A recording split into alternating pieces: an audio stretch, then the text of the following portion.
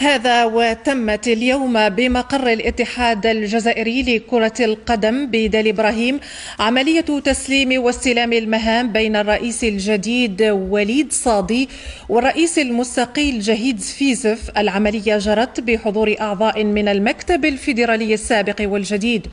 وعلى إثرها يباشر المكتب الفيدرالي الجديد برئاسة وليد صادي مهامه على رأس الكرة الجزائرية فيما تبقى من العهدة الأولمبية 2021-2025